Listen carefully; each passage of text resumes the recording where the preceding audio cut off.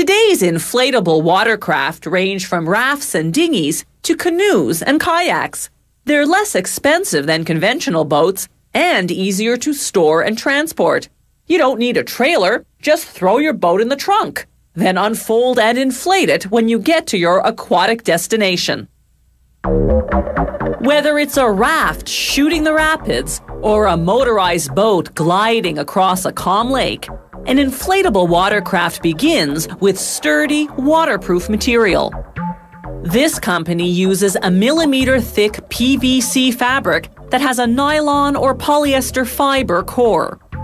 After workers trace and cut out the pieces that will form the boat, they connect them with a strip of the same material, fusing them together using a machine with a propane flame.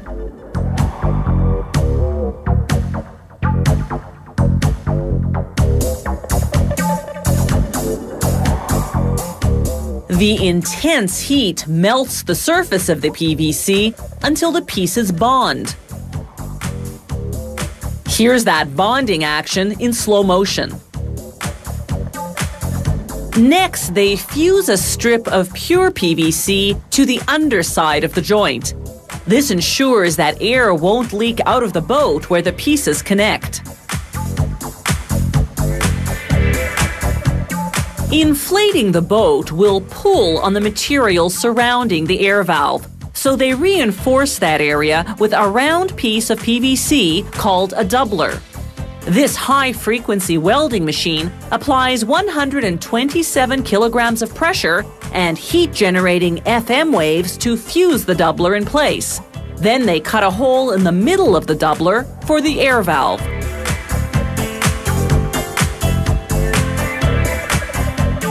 Next come the cones. Cones support the weight of the motor and enable the boat to plane, to rise above the water when traveling at high speed.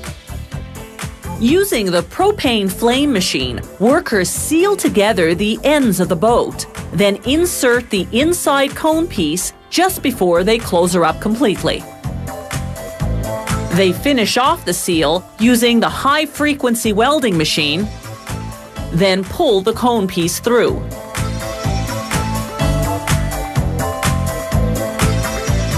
They inflate the boat until the pressure forces the cone piece into place. They seal all around it with heavy duty caulking. Stick on the outside cone piece, then screw it securely in place. They inflate the boat fully now to perfect the seal and to expel the excess caulking. Now they install what's called the transom, a plank of wood that supports the motor at the rear of the boat. They cover it in boat fabric using a plastic resin based glue that's resistant to the fiery heat of the sun.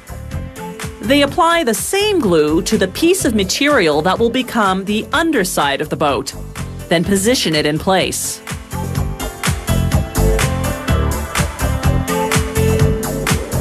After gluing on a bumper made of hard PVC, they coat the boat's underside in a liquid plastic resin.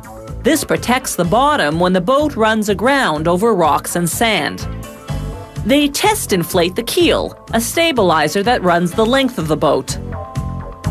Then they deflate it and begin installing the floor. The floor is made up of five connected pieces, three made of aluminum and two made of fiberglass, plastic, or wood.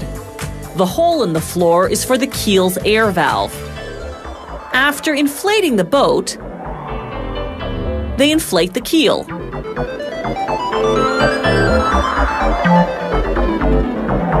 Now they can take measurements to determine where to position the oars. First, they glue on the oar locks, the pieces that hold the oars in place. The oars are made of aluminum, so they're lightweight and they won't rust. The motor is 6 horsepower to 50 horsepower, depending on the size of the boat.